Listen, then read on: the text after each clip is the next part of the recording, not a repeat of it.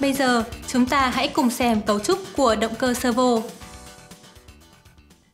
Tôi sẽ thảo luận về cấu trúc động cơ servo xoay trong khóa đào tạo này.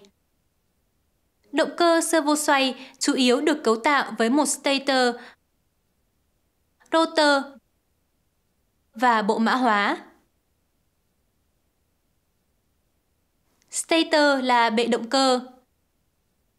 Sợi dây được quấn quanh lõi để cung cấp lực cần thiết để xoay rotor.